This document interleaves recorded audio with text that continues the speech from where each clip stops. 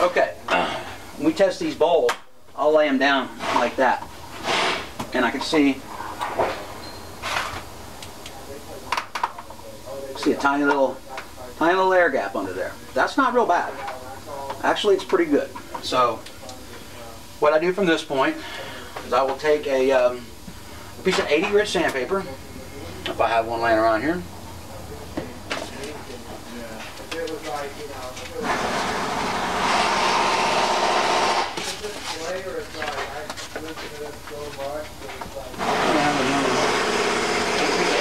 Sandpaper, lay it on a very flat surface. Sometimes, if you don't have a uh, a real good flat surface, I mean, you might not want to take it inside, do it on your wife's kitchen uh, counter or anything like that. I mean, I got this nice solid stainless surface. You can use a piece of glass, um, a mirror or something, um, lay it lay it down. Run in a circular fashion like that. You'll see that it, that'll that it, that it'll begin to cut the corners down. The center, however, because of the way it folds up, the center won't, won't get cut down. you do it just a couple times, wipe the dust off. You want to take a look and see how far you're getting in. I'm see I'm getting into there, and I get into there. So I just got a little ways to go before I'm completely flat. Blow the dust off that guy. Do this one more time.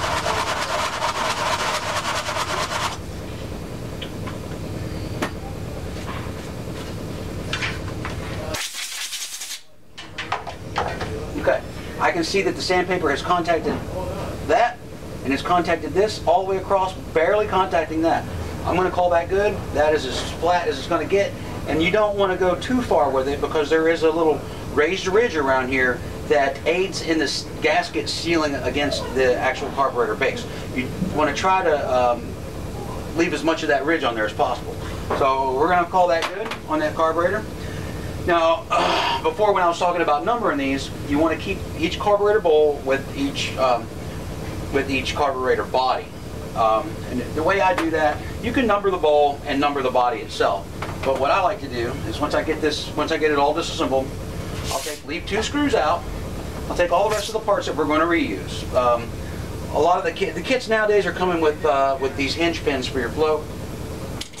Some of them, some of them don't. So I have save your hinge pin, obviously, save your jets, and you've already, before I put this back together, I'm going to have one of the young guys or get a microscope out, find out what these jetting sizes are, make sure that I've got them written down. We're going to put, uh, put all that stuff down into the bowl, all of your screws.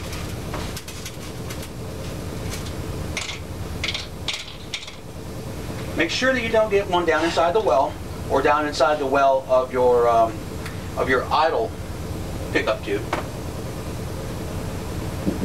Put the bowl back on there.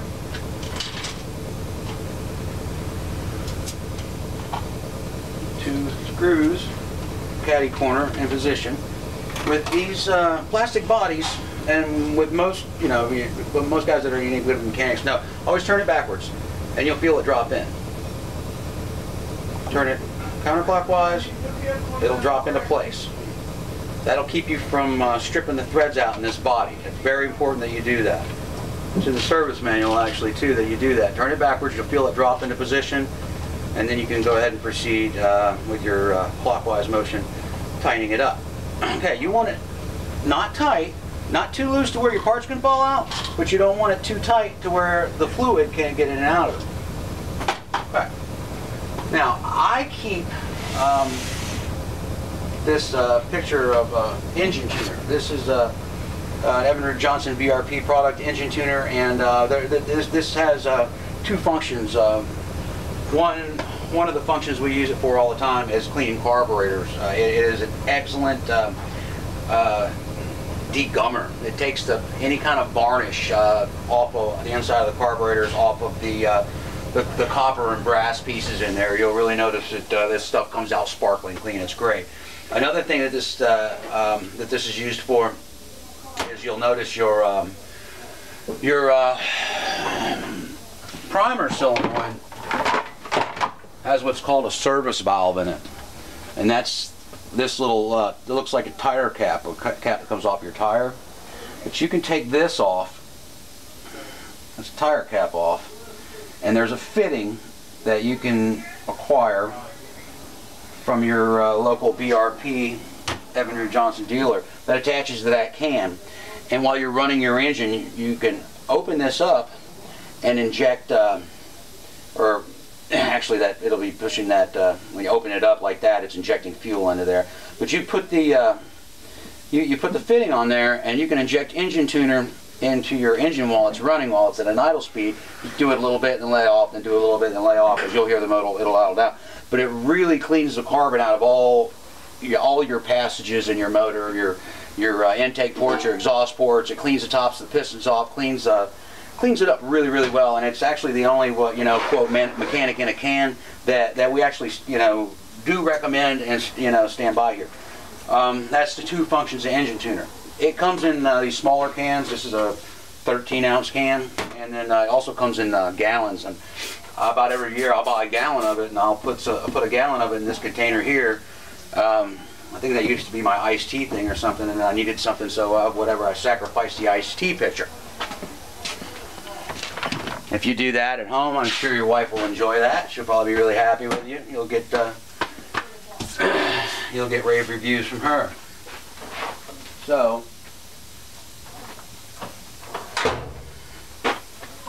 plastic body carburetors, I don't recommend soaking more than four hours. You don't want to, um, you don't want to have your, uh, you don't want to get the, the this is a very, uh, it, it, it's a very, uh, very strong cleaner. Um, they recommend from the factory that, you know, don't soak it too long. I'll soak them about four hours. Sometimes I'll get busy, they might sit in there a little bit longer than that. But uh, four hours is generally, generally um, as long as I'll keep them in there. The metal body carburetors, the aluminum carburetors, I'll leave them in there a little bit longer because um, because they're a little stronger, you know. But the from what they the uh, the bodies of of these are actually covered because aluminum is porous. This is cast aluminum, and it is actually porous. I know you you know it, it it's it's hard to think that uh, it's going to be that porous to where it would uh, create running problems. However, there's a there's a coating on this, and they say that if you soak it uh, if you soak a carburetor too long, that it can damage the outer coating on this and um, add to a, a, porous, a, a porous characteristics in the carburetor, which you don't want. So. Know, four hours on the plastic one, six to eight hours on the on the aluminum. Okay. Now to our throttle body. Some of these are Torx screws and some of them are Allen screws. These appear to be Allen screws, which is kind of odd. The newer ones, the newer models usually have a um, Torx screw, and this one will be a 9 64th Allen that should, memory serves me, yes, 9 64th Allen fits that. Now, for you guys that are um, that are doing uh, that just doing your own carburetor rebuild, this is very important that you do this. You've taken these off, you haven't disturbed these screws at all. Take your key and put it into position. You can see it's at the 12 o'clock position we count our turns inward and we clockwise turns in and we count how many turns it takes to seat the screw. That way we know how many turns to turn it out. Once you're done seating the screw and you've counted the turns, write that down. Five turns, six turns, whatever.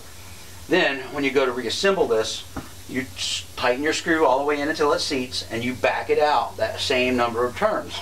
And more than likely your idle um, will be right around where it's supposed to be. You might have to uh, might have to mess with it a little bit, but um, probably not much. Okay, so this one is half one, half two, half three, half four, half five, half six, half six and a half turns. Okay. Good old Gary. This motor is going to be a complete rebuild, so I'm going to go with what they usually have is start these at about like five and three quarter turns. This one's six and a half, which is, you know, uh, falls into um, when a motor is getting a little bit older. Sometimes it, you know the displacement will grow in it as it breaks in, and uh, and you do have to increase the fuel supply a little bit in order to make it idle right. So this one's out six and a half turns. I think it probably says five and three quarters or six turns in the book, but we're gonna mark this one at six and a half turns. And um, for, for you guys doing one that's not getting a block rebuild, that you'll know that that's where you need to set it at. Go through the rest of these and do those the exact same way. Um, however, this was getting a block rebuild, so when I put when I put this back together, I'm going to set all these at a predisposed uh, a predisposed uh, number of turns out. I've got I'm going to have some holes that are um, that are 20 over and some holes that are standard. I'll probably my standard holes I'll probably do exactly what it calls in the book my uh, holes that have, uh, my cylinders, what I would call holes, that have been bored out, I'm going to give them a little bit more because there's a little bit more fuel or a little bit more air being drawn into the cylinder. So it's going to require a little bit more fuel for a proper mixture.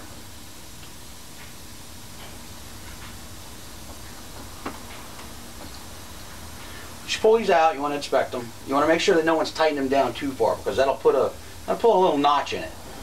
Um, it should make a, you know, a very smooth taper to the end. Shouldn't be bent or uh, otherwise deformed. These all look pretty good.